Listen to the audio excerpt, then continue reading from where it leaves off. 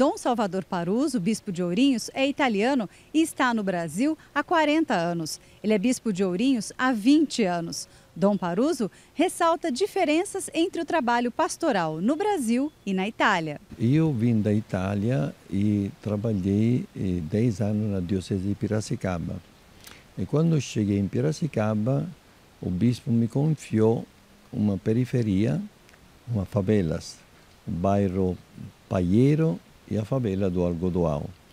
Então foi uma, é, uma impressão muito, muito bonita de poder trabalhar a serviço das periferias.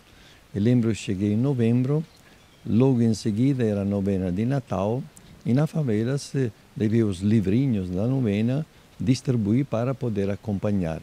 Mas nunca teria imaginado que ninguém sabia ler.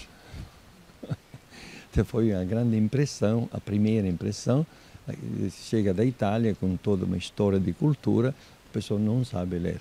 Ainda bem que eu conhecia já algumas músicas, peguei um violão, começava a cantar Noite Feliz e aquela novena foi para frente. Mas esta impressão de chegar em uma realidade é totalmente diferente, mas quando a pessoa sai da própria terra para ser missionária, Deus dá uma graça especial para enfrentar tudo enfrentar não como uma dificuldade, mas como uma oportunidade.